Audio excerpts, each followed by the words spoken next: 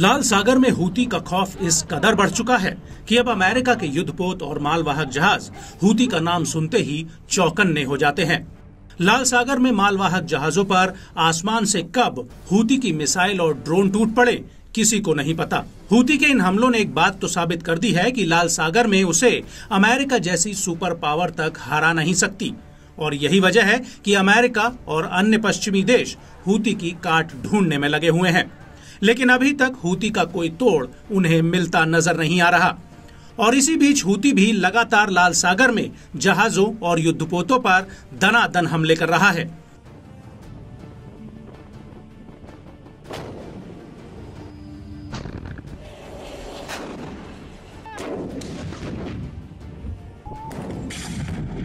दरअसल अब हूती ने इसराइल से जुड़े बल्क कैरियर लैक्स के ऊपर पाँच मिसाइलें दागी हैं। पहले खबर आई थी कि हूती ने इस जहाज़ पर एक हमला किया था, लेकिन अब security company L S S S A P U ने न्यूज़ एजेंसी रॉयटर्स को बताया कि हूती ने इसराइल से जुड़े इस जहाज़ पर पाँच मिसाइलें दागी हैं। रॉयटर्स के मुताबिक ये जहाज़ अनाज से लदा हुआ था और उसके ऊपर हमला उस वक्त हुआ जब ये यमन के बंदरगाह शहर होदेदा से होकर गुजर रहा था। इसको लेकर हूती के प्रवक्ता याया सारी का भी बयान आया है। जिसमें उन्होंने इस हमले की पुष्टि कर दी है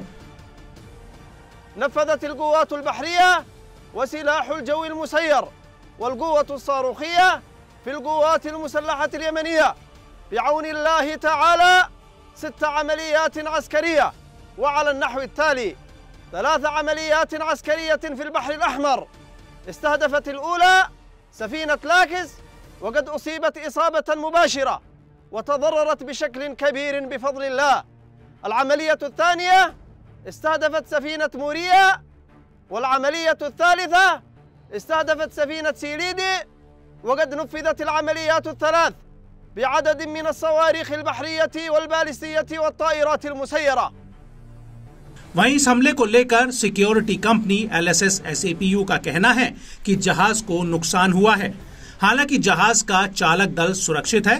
कंपनी का कहना है कि इस जहाज़ पर 23 क्रू मेंबर थे। इसमें यूक्रेन, फिलिपिनो और मिस्र के सदस्य सुरक्षा बलों के साथ जहाज़ पर तैनात थे। वहीं एलएसईजी शिपिंग डेटा के मुताबिक 28 मई 2024 को इस जहाज़ की आखिरी लोकेशन ईरान के बंदर इमाम खुमैनी थी। आपको बता दें कि हूती ने इसराइल के खिलाफ अपने चौथे और पाँचवें चरण के हमलों का ऐलान किया था। और इसी कड़ी में उसने हाल ही में छह इजरायली जहाजों को निशाना बनाया है।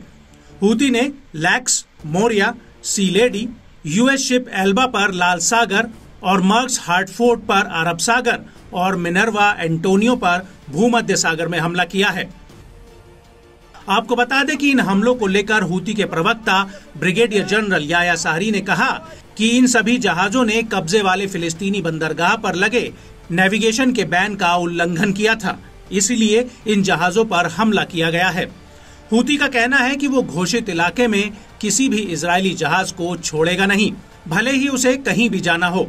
हूती पहले ही साफ़ कर चुका है कि पश्चिमी देशों का कोई भी जहाज़ अगर इसराइल या उसके कब्जे वाले फिलिस्तीन की तरफ़ जाता है तो वो हूती का वैध टारगेट होगा, भले ही वो किसी भी देश का जहाज़ हो।